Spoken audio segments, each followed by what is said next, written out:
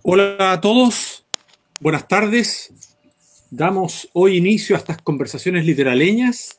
La verdad es que para mí lo personal es un gusto eh, especial, no, no, no, es un, no es un decir. Soy Pablo Salinas, bueno, más de uno me conoce por ahí, pero hoy tenemos la oportunidad de conversar con tres invitados francamente de lujo, eh, que cada uno de ellos yo creo que da como para un programa, un programa en exclusiva, pero en esta ocasión, esta tarde, vamos a tener la oportunidad, la oportunidad de oro, de escucharlos a los tres, conversar. Vamos a partir con la presentación por Mercedes Somalo, la Meche Somalo.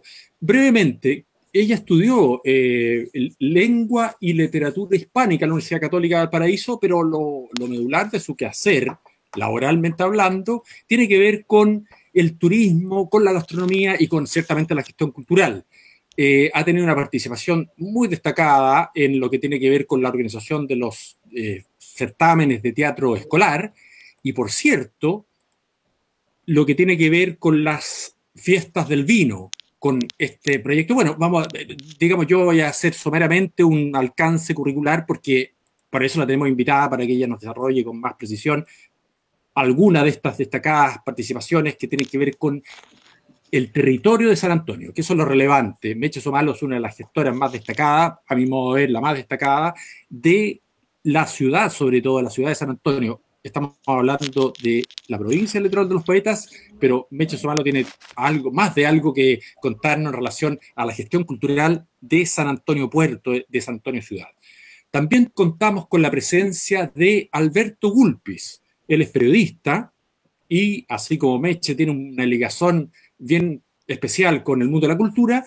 Alberto tiene una ligación con el mundo de la cultura, pero eh, eh, también nos va, porque yo lo conozco y sé que nos va a desarrollar al respecto, cuánto le enseñó este vínculo que él logró establecer a los inicios de su vida profesional con el mundo del deporte, particularmente del fútbol.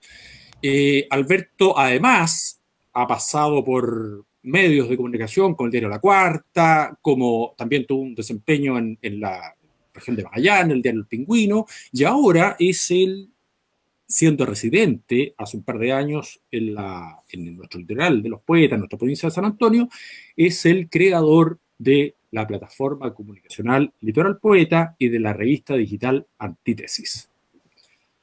Hola. Y para cerrar este, este ramillete de invitados, tenemos a Daniel Retamal, también Daniel es un residente, el más reciente, por cierto, de, nuestro, de nuestra provincia, pero él ya está instalado hace un par de meses en la localidad de Isla Negra.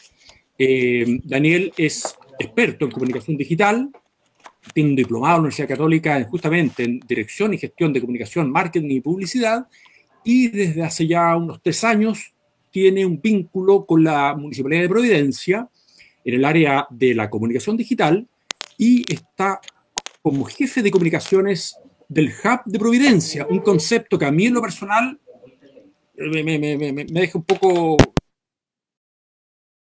Hay algo reciente, ¿no? Lo que tiene que ver con la innovación ciudadana. Daniel, a los tres, buenas tardes, un gusto de tenerlos esta tarde en esta conversación que justamente apunta a nuestro territorio, la provincia de San Antonio, este litoral de los poetas, llegó el momento de innovar. ¿De qué manera podemos entender nosotros, ciudadanos de la provincia de San Antonio, de este rico, de, este territorio rico acervo cultural, el concepto de innovar? Yo no sé, me dejo la pregunta. ¿Quién de los tres me la recibe? Ojalá que los tres en forma breve me hagan un comentario. ¿Qué entendemos por innovar, pero enfocado a la provincia de San Antonio?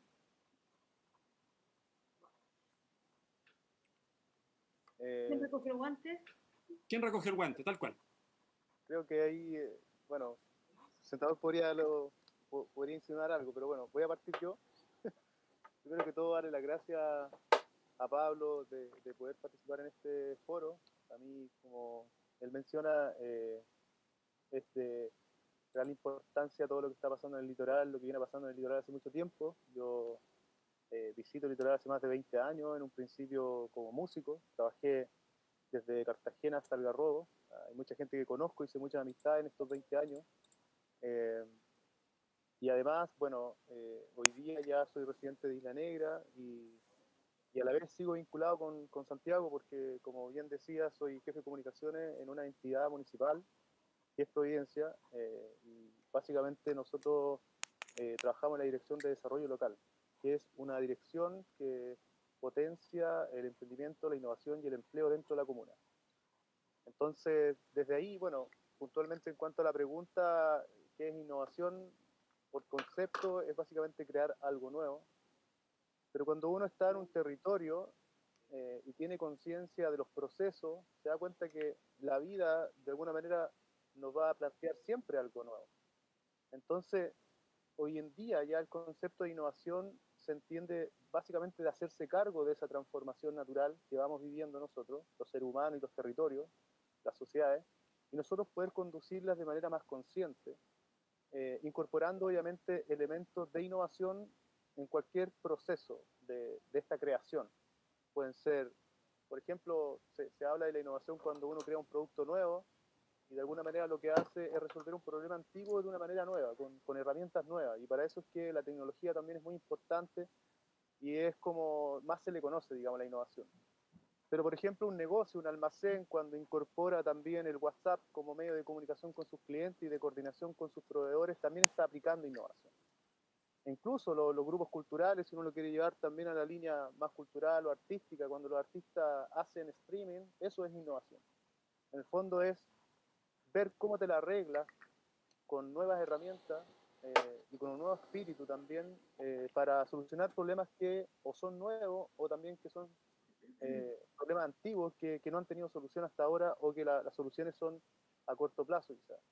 Entonces, eso como, como para entrada de, de, lo que podamos discutir más hacia adelante, eh, como concepto básicamente, que así es por lo menos como nosotros lo trabajamos y lo entendemos acá eh, en la Municipalidad de Providencia. Claro. Mechi, en relación a lo que, a lo que dice Daniel, tú como San Antonina oriunda, eh, yo, soy, yo llevo 30 años viviendo aquí en Algarrobo, no soy tan oriunda, oriundo como tú, pero pero tengo a la distancia, y tampoco tan a la distancia, San Antonio y la provincia. Estamos, estamos, abordando, estamos hablando del capítulo Ciudad San Antonio y obviamente la extensión, la provincia toda, el litoral de los poetas. Yo, así como te digo, eventualmente percibo que San Antonio, innovación, de alguna manera no van tan de la mano, y sobre todo considerando lo que tiene que ver con la cultura. Eh, eh, San Antonio tiene un acervo cultural importante, pero que a mi modo de ver no ha sido lo suficientemente explotado. ¿Cómo, cómo ves tú este maridaje, esta alianza entre la innovación, la disposición a innovar, por así decirlo, y lo que tiene que ver con San Antonio Ciudad? Mm. Es una pregunta bastante compleja de responder porque mm. si uno piensa que innovación se lo abordo como concepto puramente, comillas, industrial, es complejo porque esto se asienta en una conciencia colectiva y San Antonio tiene capas humanas que vienen por oleadas, es decir, no hemos tenido una conservación de eh, capas históricas, culturales que permanezcan. Si tú, yo nací en San Antonio y si yo paso por la calle principal hoy día, Centenario, eh, conozco dos o tres tiendas históricas, y con histórica te digo 50 años de alcance, 40 años, y todo el día es otra cosa. Es más, en algún momento hicimos todo un levantamiento del tema eh, comercial en San Antonio a propósito de la recuperación patrimonial del barrio Balmaceda y nos dábamos cuenta que las cadenas y el comercio de las empresas chinas se tomaban gran parte de la ciudad con algunos componentes no menores. Por ejemplo, la inmigración de inicio del año, eh, de, perdón, del siglo XX, 1910, 1920, cuando nace el puerto y con el puerto nace la ciudad, las corrientes migratorias son italianos, españoles, árabes, y todos ellos se mezclan con el mundo criollo. No así el mundo chino, se mezclan entre ellos. ¿Te fijas? Entonces, cuando uno habla de innovación, lo primero que uno debe decir, innovación respecto de qué? ¿De lo antiguo? ¿Conciencia de quién? ¿De los mismos? No, son otros. Entonces se nos mueve la capa. ¿Cómo hablar de innovación entonces? Con arraigo cultural. nos viene compleja la respuesta, por eso te decía que es un tema muy difícil de responder. Sin embargo, en aquellas capas que persisten y que son los criollos que están en los barrios, en el cordón de cerros que rodean el casco histórico de San Antonio, sí hay conciencia a partir de los clubes deportivos que son de rayuela o de fútbol, no sé, el Lauro Barro, la Estrella de Chile, la Balmaceda, eh, el Atlético, el Atlético San Antonio, eh, lo quiere el América, el Carlos Conde, el Cóndor de, de, de Placilla, etcétera, etcétera. En torno a eso, el tejido social es el mismo que históricamente desde los años 60, 50, 40 participaban en las murgas y que hoy día se reinstauran en los carnavales de verano, qué sé yo, hay un tejido social que sí responde, mm. pero hay otro que está totalmente ajeno. Entonces, hacer una respuesta genérica no es mm. posible, porque tenemos capas sociales que se superponen y unas dominan más que otras. Pero en los cerros aún es posible recuperar esa capa histórica. ¿Desde dónde? Pienso que el ser original, que es esta vuelta al origen, tener conciencia de aquello para innovar, porque uno innova sobre lo ya conocido, ¿cierto?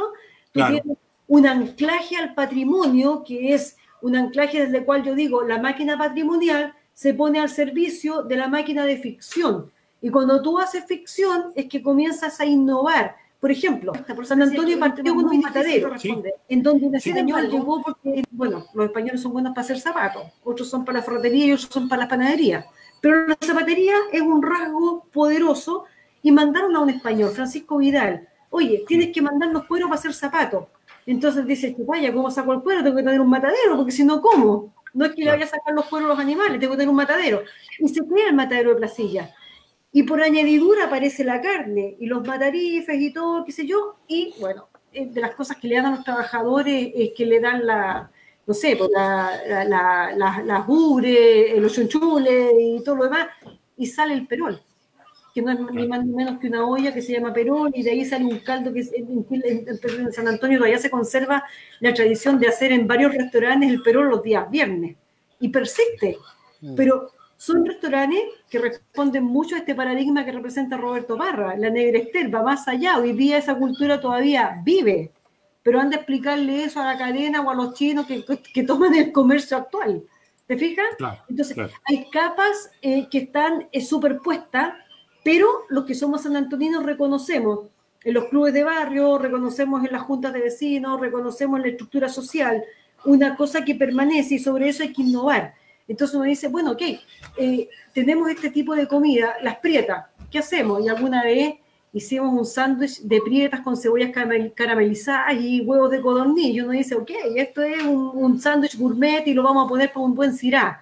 Y funcionó. Y lo hicimos en Santo Domingo, en otros lugares, en fin. Y hay una valoración de aquello pero mucho ojo con la respuesta de, querer eh, como darle una respuesta original de San Antonio, en circunstancias que las capas que reconocen esto eh, están marginadas y no están, y el comercio se está, lo dominante está en manos de quienes no reconocen este legado. Y ahí tenemos un desafío enorme de reempoderamiento. Perfecto. Eh, Meche, mira, vinculado con el tema de la innovación, sin salir en una punta del zapato del tema que el, eje que, que, convoca esta conversación, eh, tú me hablabas antes de este encuentro de ciertas innovaciones. Tú en tu cargo de directora ejecutiva de la Asociación de Viñas del Valle de San Antonio, me comentabas que se están haciendo ciertos trabajos, porque es importante que la gente, yo creo, sepa de alguna u otra manera, yo eludo, trato de, hacerle el quite a una visión del todo, no sé si negativa, pero decir todo lo que nos falta. Es como diría, perdón, voy a citar una figura que es un tanto polémica, que el, ex eh, Ricardo Lago, cuando habla de ver la parte media vacía del vaso. Veamos la parte medio llena del vaso. Yo sé que ustedes, en la Asociación de Viñas de, Valle de San Antonio están haciendo innovación. Por ejemplo, lo que tiene que ver con el rescate del bosque nativo.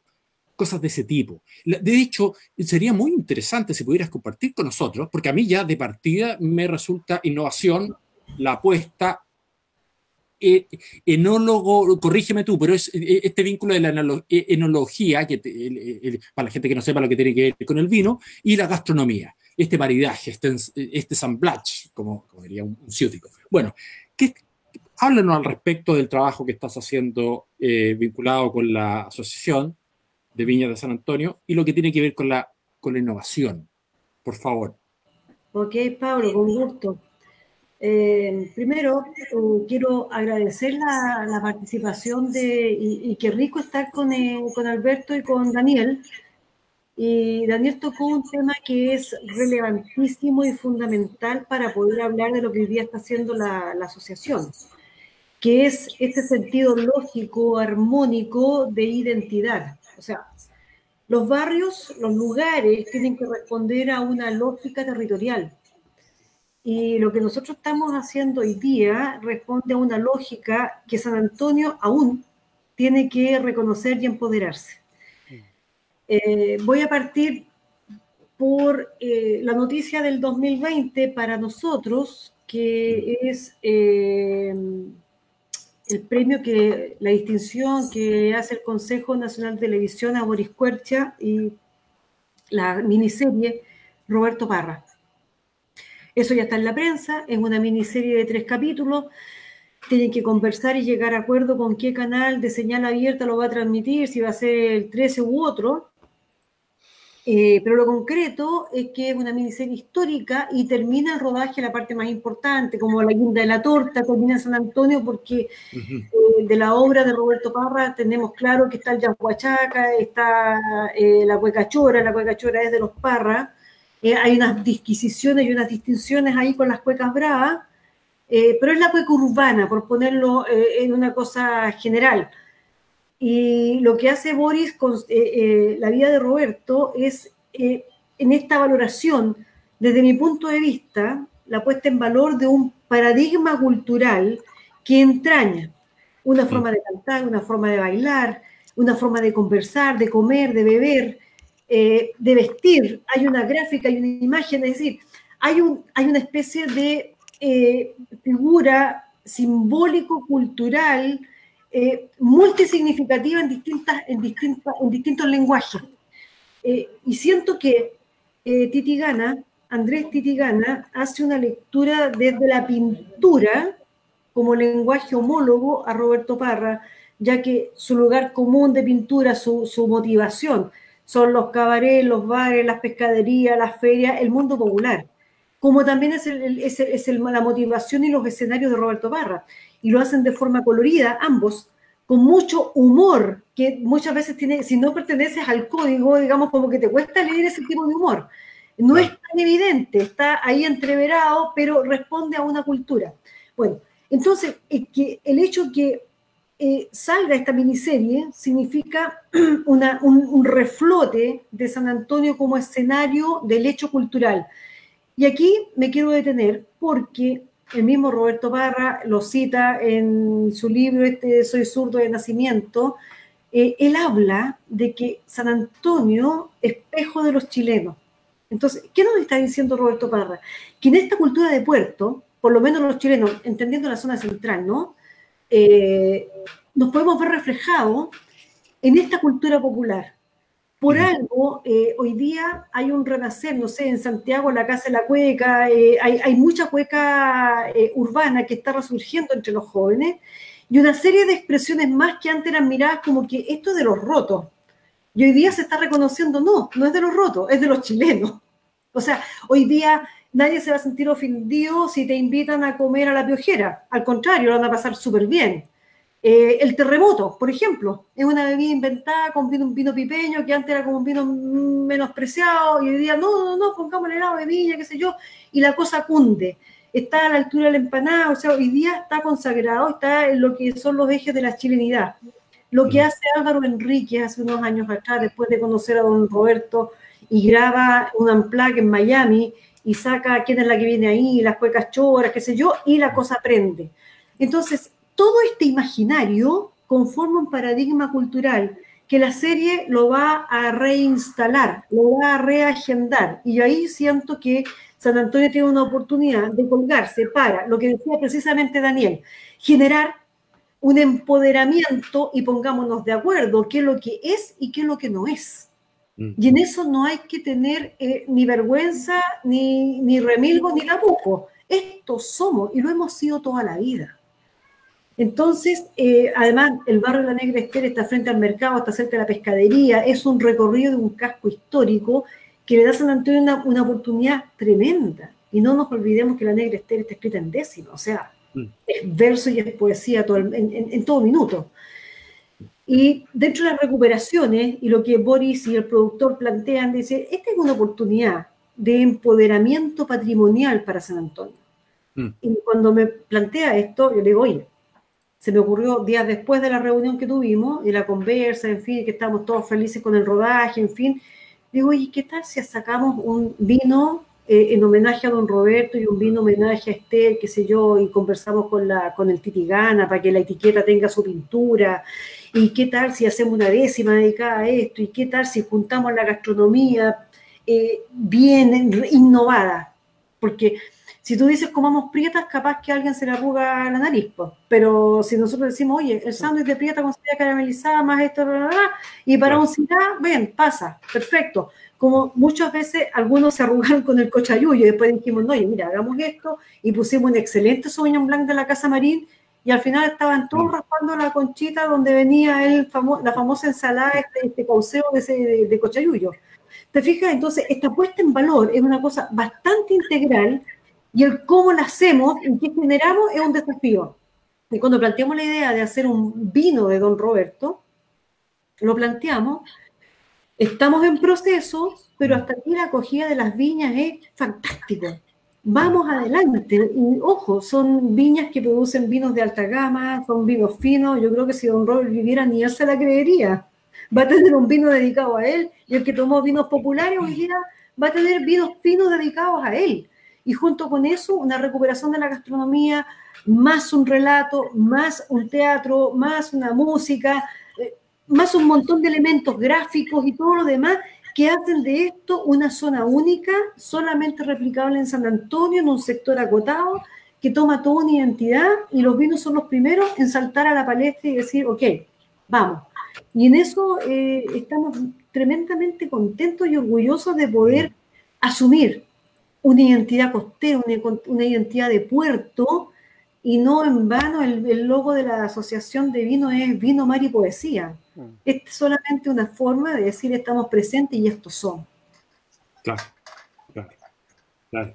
Sí, eh, Daniel, mira, hay algo que yo necesariamente necesito, valga la redundancia, que tú nos, nos aclares, que tú nos desarrolles. Tú estás a cargo, tú eres el jefe de comunicaciones actualmente del Hub Providencia. El término Hub, partamos por ahí. Mm. Yo, lo personal, tuve que googlearlo, porque Hub es, una, es un tema que tiene que ver, no, sí, claro, es que tiene que ver con un punto de acopio de las conexiones, yo qué sé, pero así como una plataforma vinculada con, ¿Con qué? Me pierdo un poquito. Pero lo que sí sé, lo que sí sé porque lo consigna la prensa, es que el Hub Providencia, este del que tú diriges las comunicaciones, es señero a nivel nacional, tanto así que se está replicando, este ejemplo que Providencia está, está entregando, lo están, lo están tomando, lo están replicando otros municipios a lo largo de Chile. Entonces yo quiero que nos aclares a todos nosotros de qué se trata un hub y qué tan homologable lo es en San Antonio, con todas estas características que Meche recién acaba de, desarrollar en forma tan, tan, tan precisa. Mira, eh, lo primero es que, qué bueno que lo haya googleado, porque es lo primero que tiene que hacer una persona inteligente, yo creo. Así que felicitaciones ahí. que no sé algo, lo tengo que saber, ¿no? Es como lo primero. Por supuesto. Eh, así que bacán. Eh, sí, el hub es básicamente un conector. ¿Se entiende? El concepto es un conector. Yo te voy a contar como experiencia o, o voy a inventar quizás historias para que tú puedas entender cómo nosotros trabajamos. Cuando yo digo que el hub es un conector, lo que hago es identificar las necesidades del público que nosotros atendemos. Como yo decía al principio, nosotros trabajamos con emprendimiento, innovación y empleo. Nosotros identificamos la, estas necesidades y vemos qué recursos tenemos nosotros en primer lugar para apoyarlos. ¿ya? Y también vemos cuáles son, en este caso, las empresas que están alrededor de nuestra comuna y que pudieran también ayudarnos. Entonces, lo que nosotros hacemos es básicamente conectar las necesidades de, de las personas, de los vecinos, con los recursos privados que están dentro de la comuna y obviamente los recursos públicos también. Ahora, como diseño, todo el recurso público es simplemente lo que ya tenemos. El recurso público es el personal, el equipo técnico del hub. O sea, yo mismo en un año hice, no sé, 20 charlas de marketing a las emprendedoras también. O sea, yo mismo que a su vez trabajo, hago clases también. Entonces, la idea es conectar, como decía, la, necesidad con alguien que la pueda, la pueda atender. Y ese es el ejemplo siempre. En el hub no le pagaba a nadie. No le pagaba a nadie. Por ejemplo, llega una empresa y dice, mira, tengo un software para emprendedores. ¿Puedes, puedes implementarlo acá? Pero no le tienes que cobrar nada a los emprendedores. Entonces, como Providencia igual es mm. atractivo, las personas vienen, las empresas vienen, eh, prueban su software con nosotros, los emprendedores se llevan ese valor y nosotros finalmente hacemos nuestro trabajo conectándolo y nadie, mm. eh, todo, eh, digamos, todos ganan, digamos. Entonces, pero esto se da a escalas pequeñas y grandes, desde trabajar con emprendedoras, que nosotros las formamos durante procesos por programas de, de emprendimiento, de innovación y empleo, y que después nosotros le, ofrecemos las plataformas comerciales, sean las ferias en las calles, donde ellas exponen lo que aprendieron o, sus productos, digamos, con todas las herramientas que nosotros le hemos entregado. Eh, y de esa manera trabajamos mm. con ellas, pero también trabajamos con la Cámara de Comercio de Providencia. Hemos desarrollado y conformado más de 17 gremios, eh, gremios de los diferentes barrios. Entonces le hemos dado una estructura de colaboración. Es una red, en el fondo, es una red de colaboración eh, donde nadie está pendiente de cuánto voy a ganar, sino que lo que yo gano es la experiencia de poder contactarme contigo y mm. poner en mi servicio ahí para que sea ocupado. Y eso es lo primero, o sea, cualquier comuna puede tener un hub, todos debieran tener un hub.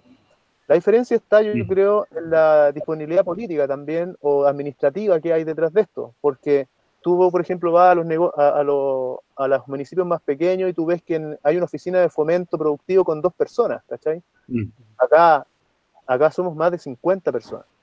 Mm. Entonces, ah, eh, mm. nosotros tenemos un equipo de emprendimiento de cerca de 12 funcionarios, un equipo de innovación de cerca de 7 personas y todos expertos en su área.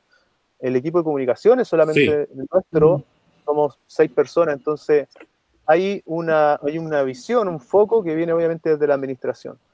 Eh, pero por lo tanto te digo, eso es más o menos un hub municipal y eso es lo que y, por diseño cualquiera lo puede tener. Y ojo que no solamente nosotros somos pioneros en Chile, sino que también en Latinoamérica nos han venido a ver de, Perú, de Colombia, de muchos países, y casi todas las, comunas de Chile, ya más de 50, han venido a conocer el diseño nuestro. Entonces, nuestro director también ha estado exponiendo en Europa el mismo diseño.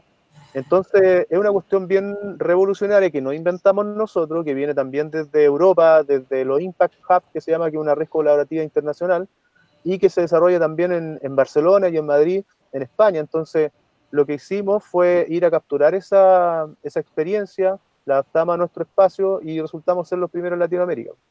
Mm. ¿Cómo ve el, el, el, vínculo con eh, su aplicación en San Antonio? ¿Qué tan distante? ¿Qué, ¿Cuáles son las.?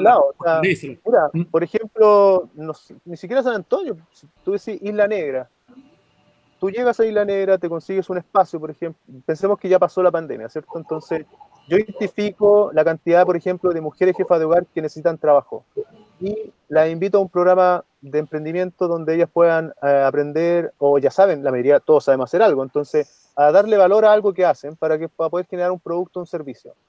Pasan por un proceso donde además aprenden a, a crear una marca, con todo lo que ya hablamos de marca, y después nosotros como municipio le entregamos plataformas comerciales, ya sea feria o un marketplace, ¿cierto? Un e-commerce donde la gente pueda comprarles a ellos. Y ojo, ahí pues para cerrar, pero como idea, por ejemplo, se puede generar toda una red virtuosa de emprendimiento e innovación dentro de Isla Negra y poner todo en valor, no, no necesariamente para que nos compren los santiaguinos, sino que te pueden comprar desde Europa vía Internet. Entonces, se puede mm. hacer, ¿sabéis qué es fundamental? Mm. Realmente son los equipos, ¿cachai? las mm. personas que, que, sepan, que ojalá tengan la experiencia en esto y que puedan articular esto y, bueno, la voluntad, como digo, también de los jefes finalmente, pues los alcaldes eh, son fundamentales para esto. Eh, pero mira, no me quiero explayar tanto porque había más personas, obviamente, pero eh, lo que quiero decir también es que la visión tiene que ser integradora, ¿cachai? Nosotros acá hemos estado mm. planteando un poco de cuánto tiempo llevo yo, cuánto tiempo lleva nuestro amigo también eh, en, la zona. Y fíjate que es bien raro también para una persona santiaguina que haya nacido en Santiago y que ama la costa, como en mi caso, eh, tener que estar explicando algo y, o, viajar una hora veinte en auto y sentirse un extraño a una hora veinte de tu casa o donde, donde tú naciste, eso no debería pasar. Entonces, mm. eh, yo creo que también hay que entender la costa como un patrimonio nacional que hay que cuidar y que además siento que más que sentir a veces que no lleguen tantos santiaguinos como uno escucha por ahí, ¿cachai? Es decir, ¿qué tipo de santiaguino o, con qué condiciones quieren que lleguemos también? Porque pienso que las zonas son virtuosas desde el punto de vista económico, sociocultural, administrativo y político y obviamente medioambiental. Son mm. dimensiones de cada comuna que hay que cuidar, pero yo creo que ninguna comuna se puede concebir a sí misma como algo que tiene que estar cerrado. Para crecer tiene que abrir sus puertas, pero con control, y para eso significa marca de nuevo, desde el punto de vista mm. como comunicacional, pero también obviamente políticas públicas que te permiten ingresar, eh, legalmente y como corresponde y que no pase un poco lo que ya se sabe que está pasando en el Tabo con las tomas, eh, etc. Entonces, todo necesita regulación y, en fondo, altura de mira, visión, en fondo, administrativa. Alberto, reapareciste. Oigan, mil disculpas, yo creo que no voy a hablar porque ves que voy a hablar se... no, pero hazlo, hazlo pausadamente. Estoy sufriendo algún tipo de, de, atentado. Tanto ancho de banda. de algún tipo de atentado. O muévete poco para que no haya tanto recurso gráfico, no sé, algo pasa ahí con tu conexión. te pixelaste, pero full. Pero por favor, es que además te pusiste en naranja, no, no, no es broma. Y yo quiero que me desarrolle el punto de la economía naranja, así que viene de cajón. Perfecto. Oye, bueno, eh, bueno, disculpas nuevamente, pero ¿saben qué? Esto que me pasó a mí ahora también tiene mucho que decir, creo yo por ejemplo, tenemos que mejorar sí o sí las conexiones dentro del litoral. Es un tema, eh, de hecho, el tema de la conexión. Yo estoy en una zona que, que, que, no, es ni el Tabo ni las Cruces, y acá hay un problema evidente de conexión, y en el verano, o sea, olvídense, se saturan las antenas y no hay opción de conectarse. Y yo soy un, mm. tipo que vive conectado, digamos. Soy muy tecnológico, eh, soy, en fondo, ando, ando siempre generando cosas, bajando cosas, y, creo que es un tema súper relevante a, tratar. Pensando, por ejemplo, en la economía naranja, yo estaba hablando justo antes de, que se cortara, sobre que Daniel, por ejemplo, habla de marca. Y yo siento que acá a veces se habla de economía, por ejemplo, y, genera un poco de resquemor. Siento que economía es una palabra hermosa, estamos en territorio poeta, o sea, las palabras tienen un valor incalculable en donde economía significa, por ejemplo, administración del hogar. O sea, qué palabra más hermosa. Entonces, el problema no es la economía, no es el mercado, sino que es lo que hemos hecho con la economía y lo que hemos hecho con el mercado. Por lo tanto, la economía naranja un poco viene a, replantear este tema. Para contarlo súper en breve, para que se pueda comprender, lo voy a hacer con un ejemplo. Eh, mm. Por ejemplo, em, Codelco genera una cantidad de, ingresos para el país, o sea, tiene un impacto en el PIB relevante. Ojo que de nuevo se está quedando pegado, así que sí, ahí, ya. tiene, un, tiene, un, impacto relevante. Pero para generar ese impacto relevante que tiene en el PIB, también genera una cantidad importante de basura. O sea, podríamos llegar a decir, si empezamos a sacar las cuentas de verdad, es que quizás hasta CNT, ¿vale? Entonces, por ejemplo, en la economía naranja, voy a poner el, caso de Netflix, que en dos meses, cuando partió la pandemia, en donde subió el consumo de Netflix, eh, en dos meses generó las mismas utilidades que generó Codel con todo 2019. O sea, estamos hablando de una brutalidad. Con la, y esto es lo más importante, con la gran salvedad de que no generó basura. Entonces, en el fondo, lo que Codelco invierte para, para para, para limpiar en el fondo su proceso, porque lo debe, debe invertir para, para el fondo no contaminar, Netflix lo invierte en nuevas producciones. Bueno, eso yo lo quiero llevar hoy día, por ejemplo, al tema de la poesía, que es un recurso que para mí es un marca Chile, como lo es, por ejemplo, y voy a ser todavía más brutal, como es lo mapuche, que es marca Chile, y que más encima hoy día nos presenta una gran oportunidad porque probablemente sea la religión que anda buscando Greta, digo yo, pero es la religión que anda buscando el mundo, en donde tenemos, nos obliga, eh, es una cultura que no estaba aspirando a construir grandes edificios, sino que aspiraba a construir hacia adentro, en lo espiritual, en, la relación de la naturaleza, en el mantener el equilibrio, y vuelvo un poco al concepto que dije antes. Entonces, la, poesía para mí, y sobre, todo este y sobre todo este territorio, porque no es solo la poesía, sino que este es un territorio en el cual tiene una gran complejidad. Por ejemplo, eh, Daniel ah, lo hablaba de Santiago, a Meche lo conoce mucho más porque sabe cómo se manejan un poco todas las cosas, pero en esta provincia, que se llama la provincia de San Antonio, hay seis comunas. Y entonces hoy día los vasos comunicantes entre cada comuna son precarios. O sea, partamos hoy día de, la base de, que la administración no, tiene una, coordinación eh, unificada. Mm. Yo, yo lo he visto en ejemplos claros, o sea, se unen a veces para dar un mensaje, pero llegan tres comunas o llegan dos. Nunca hay como un mensaje contundente global. Y luego empezamos a bajar las capas, digamos, y, en el fondo nosotros mismos como ciudadanos cuesta mucho también comunicarnos y creo también que pasa un fenómeno muy parecido al que pasa en Chile, porque Chile es una mm. franja larga en la cual no hay trenes, que también es otro tema interesante a tratar en otra ocasión, es una franja larga que se parece mucho a este territorio, porque también es difícil recorrer este, este territorio. En el fondo, Meche me puede corregir cuántos kilómetros hay, o tú Pablo también, que cuántos kilómetros hay entre Santo Domingo y Tunquén, por ejemplo. entiendo que son mm. cerca de 40 kilómetros o más, ¿no? Un poquito más. Debe ser unos 40. ¿Cierto? 40, 45, no más. Y, en el fondo estamos hablando de una mm. franja y que es más, todos pensamos en costa, pero hay una riqueza preciosa hacia, hacia la cordillera de la costa que tiene que ver con lo gallardo, que tiene que ver con lo abarca, que tiene que ver con el membrillo, que tiene que ver con el totoral, San José, yo he recorrido toda esa zona, yo he recorrido por la costa y recorrido por la cordillera de la costa sacando fotos.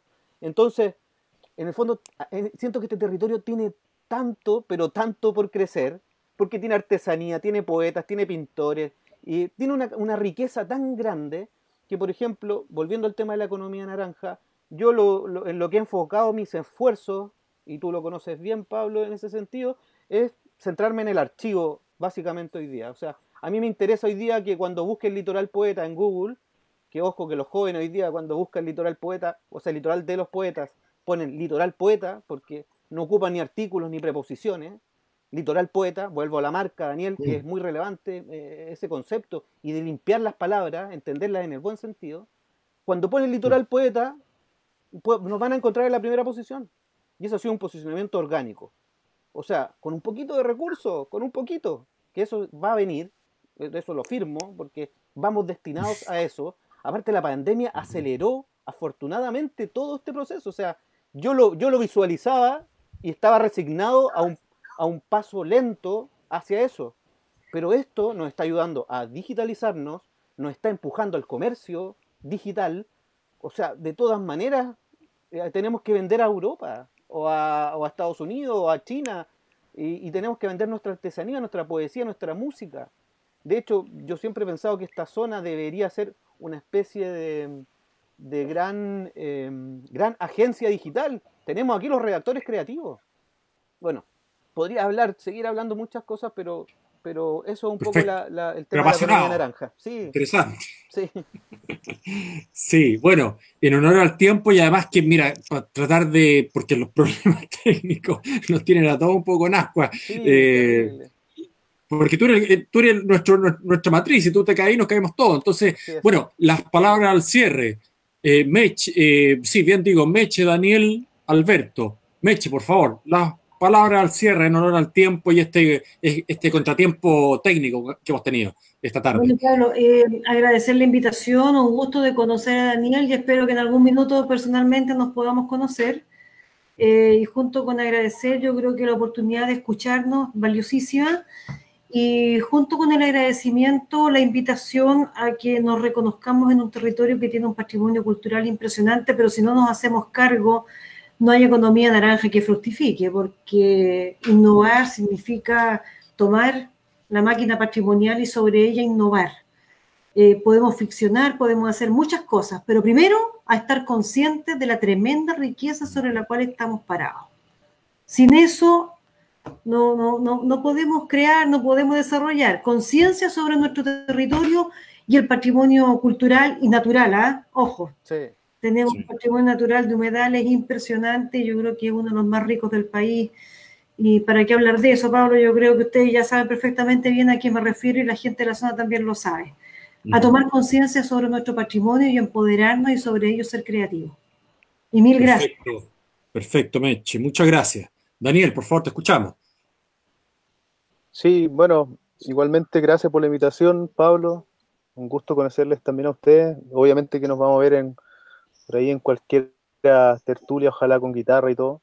Eh, yo creo que, no sé, si yo estuviera ahora eh, en una plaza, en la misma plaza del Quisco, con un montón de gente reunida, gente de allá del Quisco, y un par de algarrobo y un par del tavo, lo único que les podría decir es que eh, ver todo este problema que hay hoy día como una oportunidad, toda esta pena que a veces uno siente cuando las cosas no han sido como uno ha esperado, como también una oportunidad, una cuestión que, finalmente te activa y te hace reaccionar.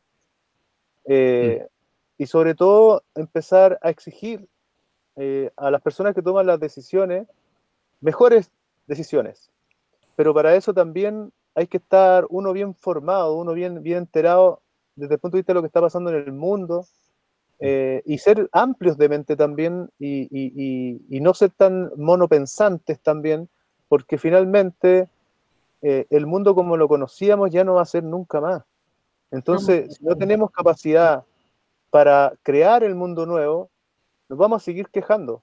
Entonces, finalmente es cierto, eh, el litoral tiene una riqueza que es natural, ya lo dijimos, ¿cierto? Un territorio, también su gente, y, también su comercio eh, y, también su cultura. Entonces, pero hay que articular todo esto, eh, hay que darle un sentido, eh, y cuando digo articular y darle sentido, hay que dar una forma, tiene que haber instituciones que, vayan a hablar con los alcaldes, digan, mira, tenemos esta organización, queremos esto, o queremos, queremos que nos responda respecto a esto. y, y, también, y nuevamente, claro, como dice Alberto, generar una marca que sea creíble, confiable, que la gente quiera pertenecer a esa marca, la gente quiera que, a ese medio como Litoral Poeta le vaya bien. Para eso obviamente hay que trabajar mucho, pero una vez que las personas entienden que, hay una base moral, es, eh, amorosa incluso en su territorio, la gente no lo va a soltar más y ya no, no van a poder tomar cualquier decisión, pero cuando uno mm. hace caso que hay desafección política y ya no, no pesca lo que está ocurriendo, entonces finalmente lo que ocurre es que las personas a cargo hacen lo que quieren. Entonces, yo creo que hay que eh, estar muy, hay que amar mucho el territorio finalmente, cuidarlo como uno cuidaría a un hijo y tratar de verlo crecer con, sabiduría y con, herramientas para el futuro. Yo creo que finalmente de eso se trata.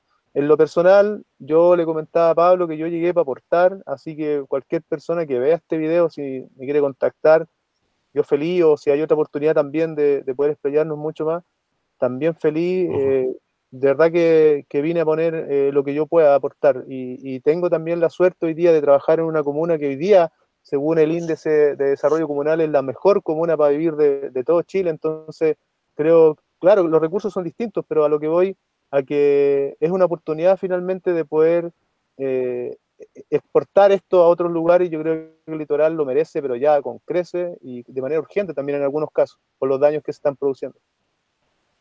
Por supuesto. Daniel, muchas gracias. Eh, Alberto, te escuchamos. Sí, tenemos un gran desafío que es el de articularnos, justamente, de juntar el mundo público con el mundo privado y con las grandes complejidades que tiene eso, el mundo público, imaginemos que este territorio, si queremos desarrollarlo, es turismo, por ejemplo, por un lado, y, las artes. Son dos organismos que deberían conversar como para que pudiéramos desarrollar este territorio. Y más encima, esas decisiones son centralizadas. O sea, hay que descentralizar Chile sí o sí, para que podamos nosotros tomar las decisiones acá en turismo y en cultura. Eso es un tema. Y el mundo mm. privado también, para que empiece a confiar en ese en, esa, en ese círculo virtuoso que yo creo que se puede empezar a generar, en donde obviamente también están las municipalidades, en donde, y ojo, hablo de las municipalidades, no hablo de los gobernantes de turno, porque este es un proyecto que tiene que ser pensado a 10 años plazo, a 15 años plazo o lo máximo. O sea, en el fondo es un trabajo de hormiga, lento y que afortunadamente, digo yo, aunque no, no, se pueda decir de esa manera porque estamos en una pandemia, toda esta situación ha hecho que se acelere un poco el proceso. Y, me gustaría terminar con, con, un llamado que también yo creo que tiene que ver con la innovación y tiene que ver con las inmobiliarias. Yo creo que este territorio, y la Mecha también lo mencionó, el tema ambiental. Yo creo que si tenemos la cultura, la poesía y todo lo que eso significa, también tenemos lo ambiental que está como ahí en segundo plano, pero es igual de grandioso, o sea, la cantidad de humedales, la cantidad de, de santuarios de la naturaleza, de laguna y la riqueza de, las aves que hay acá es, impactante. Y en ese sentido, lo inmobiliario, yo creo que nosotros debemos aspirar a que, a que en esta zona empiece a ser la líder en, términos de construcción sustentable. Nosotros deberíamos empezar a, a construir con los estándares del futuro, o sea, con los estándares que van a ser lo normal en el futuro energía del sol, todo lo que eso signifique. Porque yo creo que tampoco nos podemos cerrar el progreso en el sentido de las construcciones. yo creo que no es el gran problema. Yo creo que lo que pasa es que, lo que las inmobiliarias tienen que llegar a, a, involucrarse con el entorno, no a destruirlo para construir otra cosa. Entonces yo creo que por ahí va el desafío. Hay zonas como la tuya, Pablo, que están mega construidas. Y me gustaría ahora como despedirme, también a ver si es posible poder conocer también tus palabras finales y tu reflexión con respecto a este territorio, porque yo creo que tú eres un personaje absolutamente relevante en justamente en toda esta articulación que tenemos que hacer.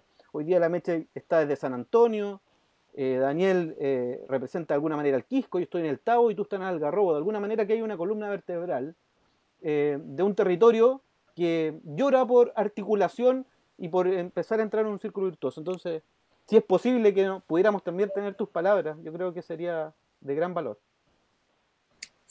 Sí, bueno, me hiciste, me hiciste una, jugada así sorpresiva. lo que pasa es que, claro, si, entramos en el, en el, terreno de lo que tiene que ver con lo inmobiliario, yo no puedo sino, es que lo que pasa es que en cierta medida nosotros tenemos que, tiene que haber cierto antagonismo y me da no sé qué responder buscándote el lado donde yo de alguna manera puedo estar en desacuerdo contigo, pero lo que estás diciendo sí, no puedo sino suscribirlo, ¿me entiendes? ¿no? Para cerrar el círculo más allá de la inmobiliaria. Sí, sí, sí, no, no. territorio. Entiendo lo que va. Entiendo lo que apunta. Sí, por ejemplo, si, y si la apuesta va por el lado de exigir estándares eh, que tienen que ver con la, con la eh, em, autonomía energética, con, con, una, eh, por así decirlo, en términos más verdes, más ecológicos, en cuanto a, la, a, la, a, la, estándares de, de construcción y yo qué sé, por supuesto que sí, no puedo sino conseguir contigo porque en Algarrobo, lo que pasa en Algarrobo en menor escala pasa también el Quisco, pasa también en el Tao.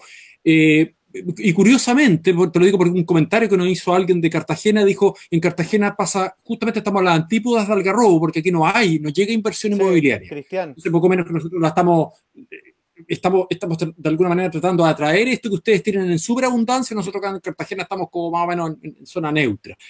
Pero sí, sí, sí, por supuesto que el, el, yo, bueno, y yo no, tampoco me quiero alargar porque lo que pasa es que ustedes son los invitados y, no es por un tema de, ser excesivamente diplomático, sino que, eh, tal como dije mis palabras al inicio, el, el término un poquito sucio, encuentro mejor, que el ramillete invitado a ustedes tres son, de verdad, son muy enjundiosos. Y, y, y, la mecha en sí concentró algo que tiene que ver con eh, San Antonio de Ciudad Puerto, que ya tiene, es un microcosmos en sí. Ahora es tampoco está desarticulado y desconectado del resto del litoral de la provincia.